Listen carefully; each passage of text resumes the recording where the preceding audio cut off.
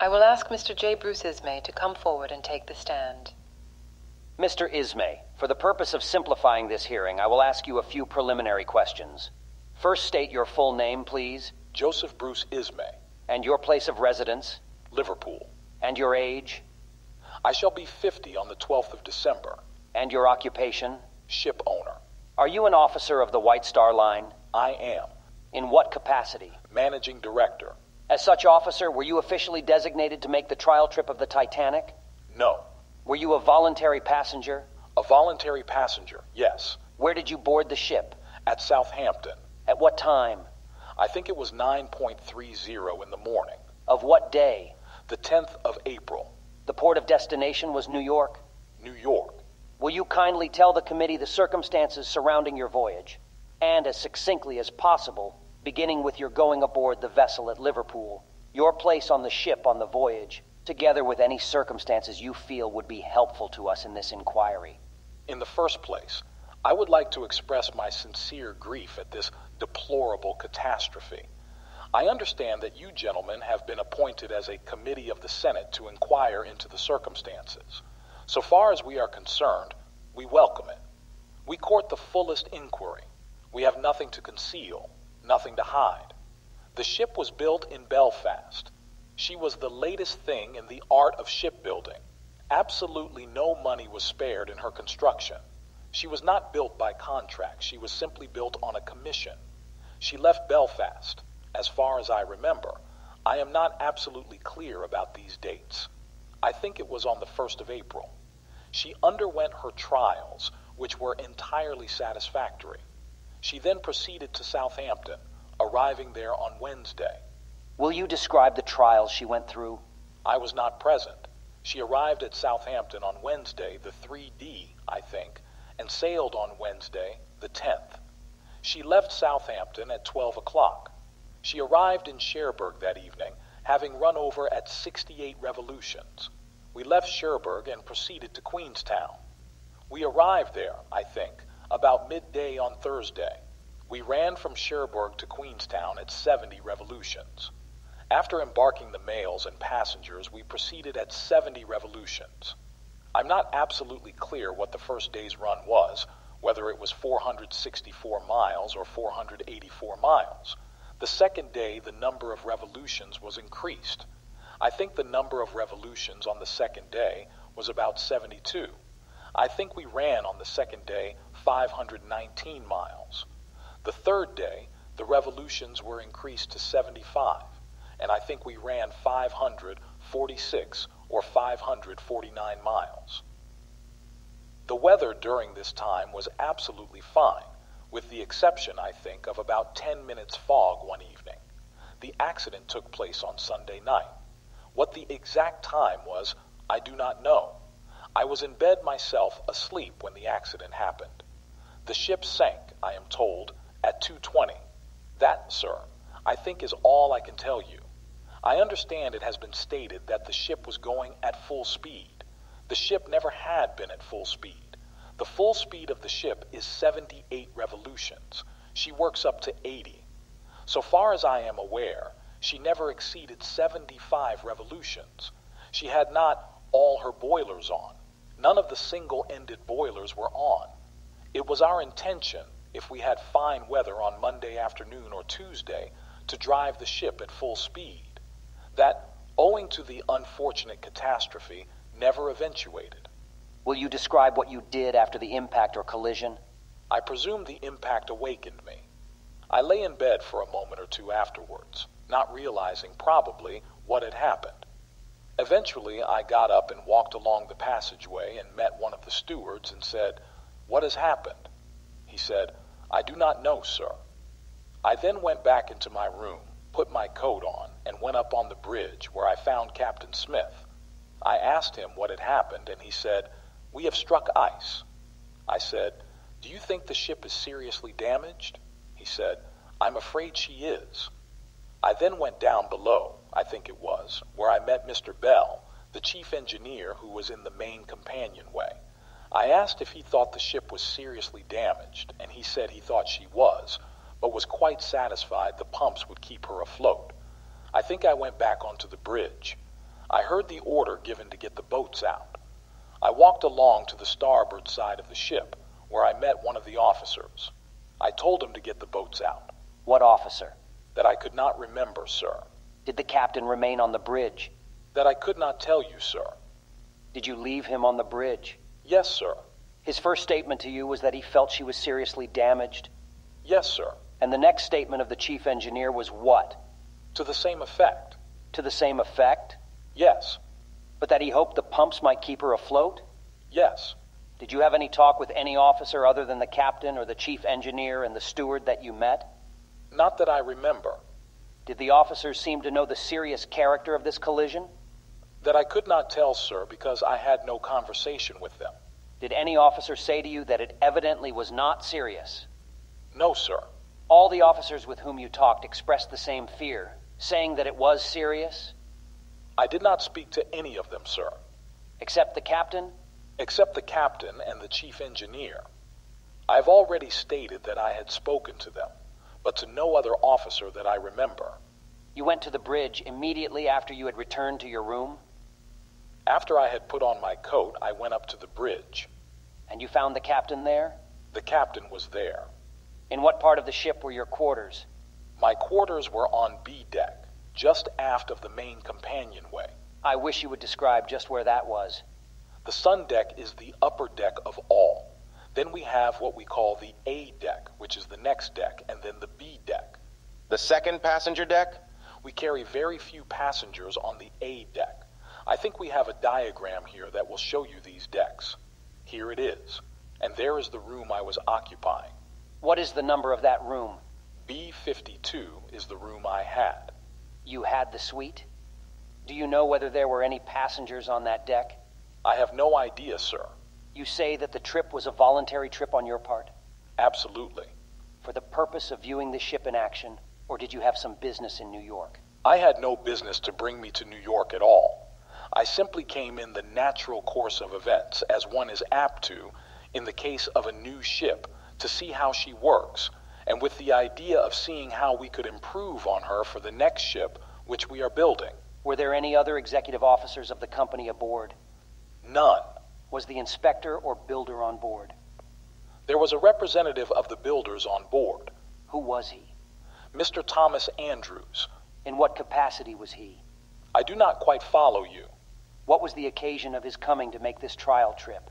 As a representative of the builders, to see that everything was working satisfactorily, and also to see how he could improve the next ship.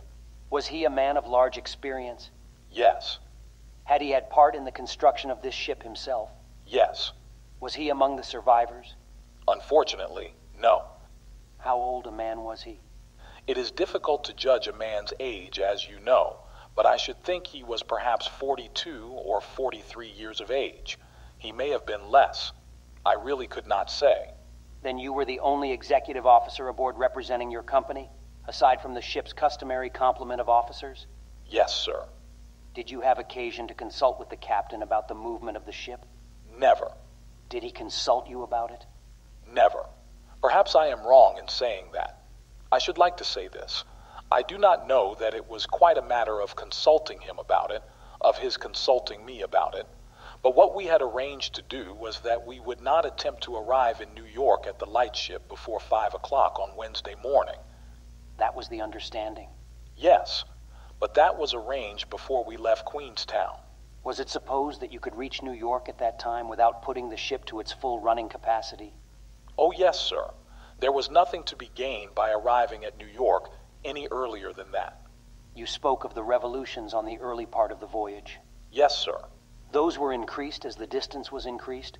The Titanic being a new ship, we were gradually working her up. When you bring out a new ship, you naturally do not start her running at full speed until you get everything working smoothly and satisfactorily down below. Did I understand you to say that she exceeded 70 revolutions? Yes, sir. She was going 75 revolutions on Tuesday. On Tuesday? No, I am wrong. On Saturday. I am mixed up as to the days. The day before the accident? The day before the accident. That, of course, is nothing near her full speed. During the voyage, do you know, of your own knowledge, of your proximity to icebergs? Did I know that we were near icebergs? Yes. No, sir, I did not. I know ice had been reported. Ice had been reported? Yes. Did you personally see any icebergs or any large volume of ice? No, not until after the accident. Not until after the wreck? I had never seen an iceberg in my life before. You never saw one before? No, sir. Had you ever been on this so called northern route before? We were on the southern route, sir. On this Newfoundland route? We were on the long southern route, not on the northern route. You were not on the extreme northern route? We were on the extreme southern route for the westbound ships. What was the longitude and latitude of this ship? Do you know? That I could not tell you. I am not a sailor. Were you cognizant of your proximity to icebergs at all on Saturday? On Saturday? No, sir. Do you know anything about a wireless message from the America to the Titanic No, sir. saying that the America had encountered ice in that latitude? No, sir. Were you aware of the proximity of icebergs on Sunday? On Sunday? No. I did not know on Sunday. I knew that we would be in the ice region that night sometime. That you would be or were? That we would be in the ice region on Sunday night. Did you have any consultation with the captain regarding the matter? Absolutely none. Or with any other officer of the ship? With no officer at all, sir. It was absolutely out of my province. I am not a navigator. I was simply a passenger on board the ship. Do you know anything about the working of the wireless service on this ship? In what way? We had wireless on the ship. Had you taken any unusual precaution to have a reserve power for this wireless? I believe there was, but I have no knowledge of that myself. Do you know how long the wireless continued to operate after the blow or collision? No, sir. I do not. Did you, at any time, see the operator of the wireless? I did not. Did you attempt to send any messages yourself? I did not. Were you outside on the deck or on any deck when the order was given to lower the lifeboats? I heard Captain Smith give the order when I was on the bridge. You heard the captain give the order? Yes, sir. Will you tell us what he said? It is very difficult for me to remember exactly what was said, sir. As nearly as you can. I know I heard him give the order to lower the boats. I think that is all he said. I think he simply turned around and gave the order. Was there anything else said as to how they should be manned or occupied? No, sir. Not that I heard. As soon as I heard him give the order to lower the boats, I left the bridge. You left the bridge? Yes. Did you see any of the boats lowered? Yes, sir. How many? Certainly three. Will you tell us, if you can, how they were lowered? They were swung out. People were put into the boats from the deck, and then they were simply lowered away down to the water. Were these lifeboats on the various decks? They were all on one deck. On what deck? On the sun deck, the deck above this. I do not think it is shown on this plan. That is, the second deck above yours? On this deck here. On the big plan. On the sun deck? Yes. On what we call the sun deck or the boat deck. They were on the boat deck, which would be the upper deck of all. The upper deck of all. Yes. Was there any order or supervision exercised by the officers of the ship in loading these lifeboats? Yes, sir. I wish you would tell just what that was. That I could not say. I could only speak from what I saw for myself. That is all I wish you to do. The boats that were lowered where I was were in charge of the officer and were filled and lowered away. They first put men into the boats for the purpose of controlling them? We put in some of the ship's people. Some of the ship's people? Yes. How many? That I could not say. About how many? I could not say. About three or four? The officer who was there will be able to give you that information, sir. My own statement would be simply guesswork. His statement would be reliable. In the boat in which you left the ship, how many men were on board? Four. Besides yourself? I thought you meant the crew. I did mean the crew. There were four of the crew. What position did these men occupy? I do not know, sir. Were any of them officers? No. Or seamen? I believe one was a quartermaster. One was a quartermaster? I believe so, but I do not know. You saw three of the boats lowered yourself? Yes. And three of them loaded? Yes. As they were loaded, was any order given as to how they should be loaded? No. How did it happen that the women were first put aboard these lifeboats? The natural order would be women and children first. Was that the order? Oh, yes. That was followed? As far as practicable. So far as you observed?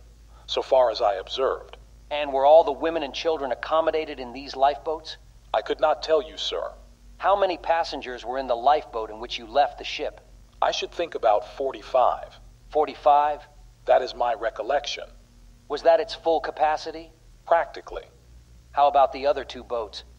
The other three, I should think, were fairly loaded up. The three besides the one you were in? Yes. They were fairly well filled? Yes.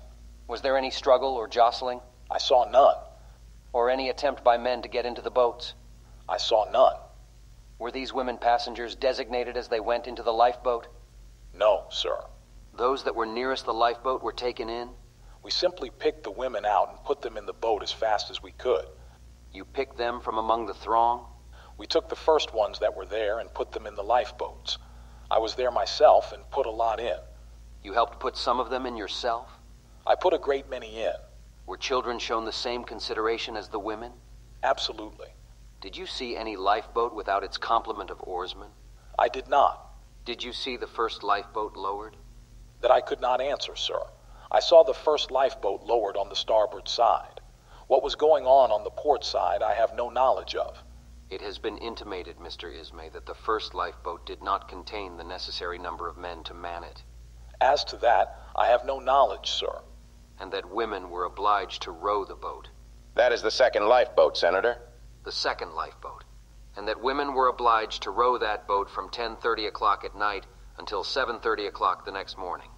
The accident did not take place until 11. Well, from after 11:30 o'clock at night until between 6 and 7 o'clock the next morning, Of that I have no knowledge. until the Carpathia overtook them. You have no knowledge of that?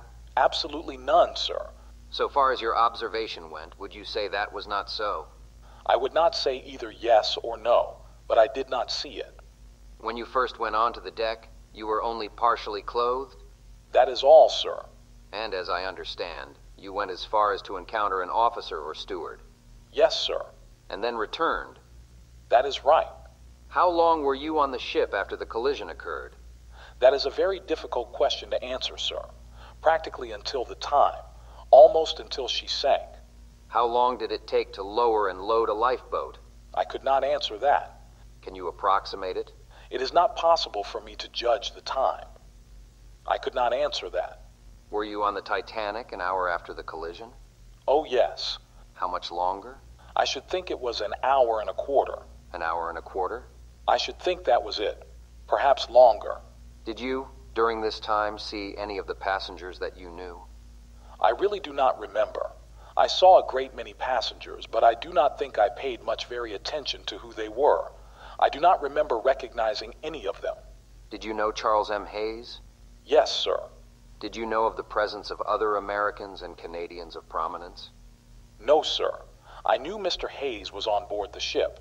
You knew he was on the ship, Yes. I have known him for some years. but you did not see him after the accident occurred?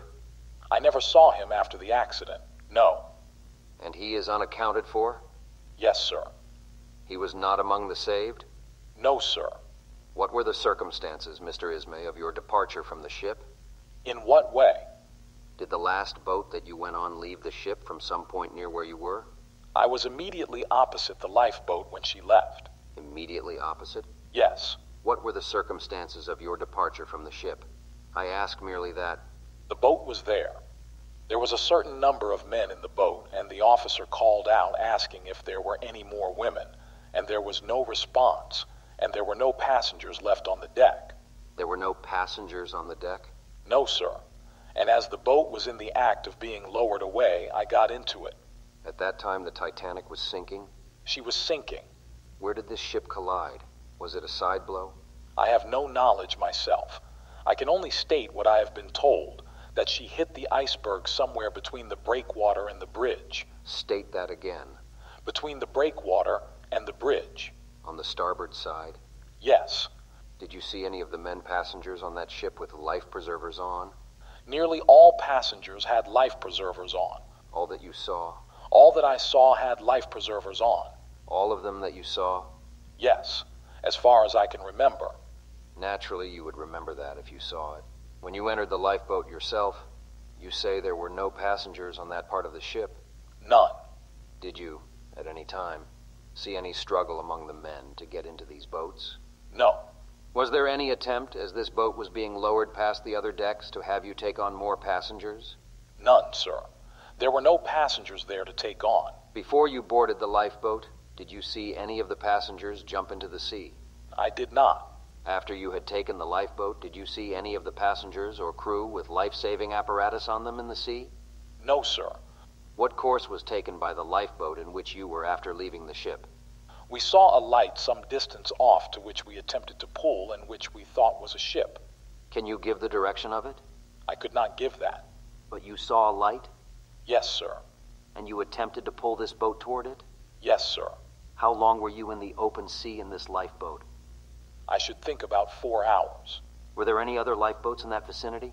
Yes. How many? That I could not answer. I know there was one because we hailed her. She had a light, and we hailed her but got no answer from her. You got no answer? No, sir. Did you see any rafts in the open sea?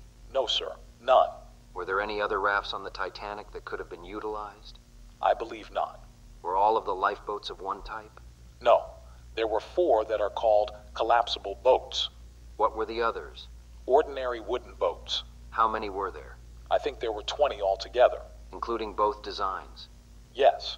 16 wooden boats and four collapsible boats, I think. I'm not absolutely certain. When you reached the Carpathia, was your lifeboat taken aboard the Carpathia? That I do not know. Did you see any other lifeboats taken aboard the Carpathia? I did not. What was the method of getting you aboard the Carpathia? We simply walked up a Jacob's ladder. What was the condition of the sea at that time? There was a little ripple on it, nothing more. Do you know whether all the lifeboats that left the Titanic were accounted for? I believe so. I do not know that of my own knowledge. I think it has been suggested that two of them were engulfed. Of that, I know nothing. You would know if that were true, would you not? I have had no consultation with anybody since the accident, with the exception of one officer, Who was that? Mr. Lightoller. I have spoken to no member of the crew or anybody since in regard to the accident. What was Mr. Lightoller's position? He was the second officer of the Titanic. How many officers of the ship's crew were saved? I am told four. Can you give their names I cannot. or their occupation? I could not. The only one I know is Mr. Lightoller, who was the second officer. I understand they are here. I believe so. I do not know. Mr. Ismay, what can you say about the sinking and disappearance of the ship? Can you describe the manner in which she went down? I did not see her go down. You did not see her go down? No, sir. How far were you from the ship? I do not know how far we were away. I was sitting with my back to the ship. I was rowing all the time I was in the boat. We were pulling away. You were rowing? Yes. I did not wish to see her go down. You did not care to see her go down? No. I am glad I did not. When you last saw her, were there indications that she had broken in two? No, sir. When did you last see her? I really could not say. It might have been ten minutes after we left her. It is impossible for me to give any judgment of the time. I could not do it. Was there much apparent confusion on board when you saw her last? I did not look to see, sir. My back was turned to her. I looked around once only to see her red light. Her green light, rather. You never saw the captain again after you left him on the bridge? No, sir. Did you have any message from him? Nothing. Do you know how many wireless operators there were on board the ship? I do not, but I presume there were two. There is always one on watch. Do you know whether they survived? I am told one of them did, but I do not know whether it is true or not. I really have not asked. Were any of this crew enlisted men in the English Navy? I do not know, sir. The ship's articles will show that. Can you tell us anything about the inspection and the certificate that was made and issued before sailing? The ship receives a Board of Trade passenger certificate. Otherwise, she would not be allowed to carry passengers. Do you know whether that was done? You could not sail your ship without it. You could not get your clearance. Do you know whether this ship was equipped with its full complement of lifeboats? If she had not been, she could not have sailed. She would not have received her passenger certificate. Therefore, she must have been fully equipped. Do you know whether these lifeboats were the lifeboats that were planned for the Titanic? I do not quite understand what you mean, sir. I do not think lifeboats are ever built for the ship. Lifeboats are built to have a certain cubic capacity. I understand that. But I mean whether these lifeboats were completed for the ship coincident with the completion of the ship, or whether the lifeboats, or any of them, were borrowed from the other ships of the White Star Line? They certainly would not be borrowed from any other ship. Do you recollect whether the lifeboat in which you left the ship was marked with the name Titanic on the boat or on the oars? I have no idea. I presume oars would be marked. I do not know whether the boat was marked or not. She was a collapsible boat. Can you recollect whether that was so? I did not look to see whether the oars were marked. It would be a natural precaution to take. Mr. Ismay, do you know about the boiler construction of the Titanic? No, sir. I do not. May I suggest, gentlemen, if you wish any information in regard to the construction of the ship, in any manner, shape, or form, that I shall be only too pleased to arrange for one of the Harland and Wolff's people to come here and give you all the information you require, the plans and everything. We are much obliged to you. There has been some suggestion by passengers who left the ship in lifeboats that an explosion took place after this collision. Have you any knowledge on that point? Absolutely none. Do you think you would have known about that if it had occurred? Yes, I should. Do you mean to say before the ship went down? Yes. Absolutely. Mr. Ismay, do you know anything about the action of the amidship turbine, the number of revolutions? No. The reciprocating engines, you say, were going at 75 or 72 revolutions at one time? Yes.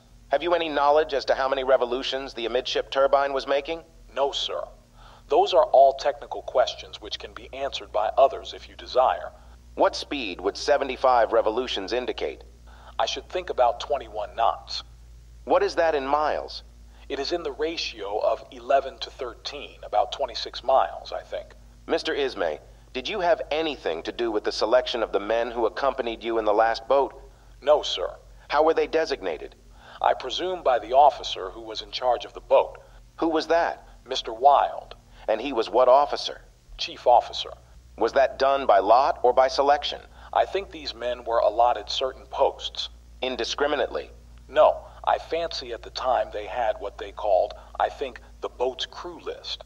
That is all arranged beforehand. Can you describe those rafts? There were none on board the ship. Did you see any rafts actually in service? No, sir. Is it customary for the White Star Line to carry rafts? I believe in the olden days we carried rafts. Recently, that has not been done. Not in the recent ships. No, sir. Why? I presume because they are not considered suitable. Do you know what water capacity there was on that ship? I do not, sir. I mean, when she was stove in, how many compartments could be flooded with safety? I beg your pardon, sir. I misunderstood your question. The ship was especially constructed to float with two compartments full of water. She was constructed to float with two compartments full of water. The ship was specially constructed so that she would float with any two compartments full of water. I think I am right in saying that there are very few ships. Perhaps I had better not say that, but I will continue now that I have begun it. I believe there are very few ships today of which the same can be said. When we built the Titanic, we had that especially in mind. If this ship had hit the iceberg stem on, in all human probability, she would have been here today. If she had hit the iceberg head on, in all probability she would be here now. I say in all human probability that ship would have been afloat today. How did the ship strike the iceberg? From information I have received, I think she struck the iceberg a glancing blow between the end of the forecastle and the captain's bridge, just aft of the foremast, sir. I understood you to say a little while ago that you were rowing with your back to the ship. If you were rowing and going away from the ship, you would naturally be facing the ship, would you not? No. In these boats, some row facing the bow of the boat and some facing the stern. I was seated with my back to the man who was steering, so that I was facing away from the ship. You have stated that the ship was specially constructed so that she could float with two compartments filled with water. Yes. Is it your idea, then, that there were no two compartments left entire? That I cannot answer, sir.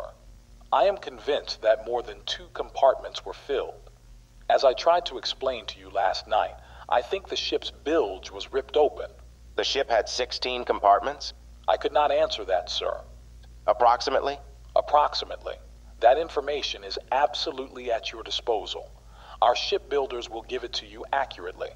She was so built that if any two of these compartments should be filled with water, she would still float? Yes, sir. If any two of the largest compartments were filled with water, she would still float. Mr. Ismay, what time did you dine on Sunday evening? At 7.30. With whom? With the doctor. Did the captain dine with you? He did not, sir. When you went to the bridge after this collision, was there any ice on the decks? I saw no ice at all and no icebergs at all until daylight Monday morning. Do you know whether any people were injured or killed from ice that came to the decks? I do not, sir. I heard ice had been found on the decks, but it is only hearsay. I think I asked you, but in case it appears that I have not, I will ask you again. Were all of the women and children saved? I'm afraid not, sir. What proportion were saved? I have no idea. I have not asked. Since the accident, I have made very few inquiries of any sort. Did any of the collapsible boats sink to your knowledge after leaving the ship? No, sir. What was the full equipment of lifeboats for a ship of this size? I could not tell you that, sir. That is covered by the Board of Trade Regulations. She may have exceeded the Board of Trade Regulations for all I know. I could not answer that question. Anyhow, she had sufficient boats to obtain her passenger certificate, and therefore she must have been fully boated according to the requirements of the English Board of Trade, which I understand are accepted by this country. Is not that so, General? Yes. Mr. Ismay, did you in any manner attempt to influence or interfere with the wireless communication between the Carpathia and other stations? No, sir. I think the captain of the Carpathia is here, and he will probably tell you that I was never out of my room from the time I got on board the Carpathia until the ship docked here last night. I never moved out of the room. How were you dressed? Were you completely dressed when you went into the lifeboat? I had a suit of pajamas on, a pair of slippers, a suit of clothes, and an overcoat. How many men, officers, and crew were there on this boat? There were no officers. I mean the officers of the ship. How many officers were there on the ship? Yes, and how many in the crew? I think there were seven officers on the ship. And how many in the crew? I do not know the full number of the crew. There were seven officers, or nine officers. There are always three officers on watch. And how many men were in the lifeboat with you? Oh, I could not tell. I suppose nine or ten. Do you know who they were? I do not. Mr. William Carter, a passenger, was one. I do not know who the others were. Third class passengers, I think. In fact, all the people on the boat, as far as I could see, were third class passengers. Did they all survive? And were they all taken aboard the Carpathia? They all survived, yes. You have indicated your willingness to supply the committee with any data or information that may be necessary regarding the construction and equipment of this vessel. Any information or any data the committee may wish is absolutely at their disposal. And you have indicated your willingness to meet our full committee? At any time you wish, sir. And I suppose this includes the surviving officers? Certainly, sir. Anybody that you wish is absolutely at your disposal. What are your own immediate plans? I understand that depends on you. I thank you, in behalf of my associates and myself, for responding so readily this morning, and for your statements.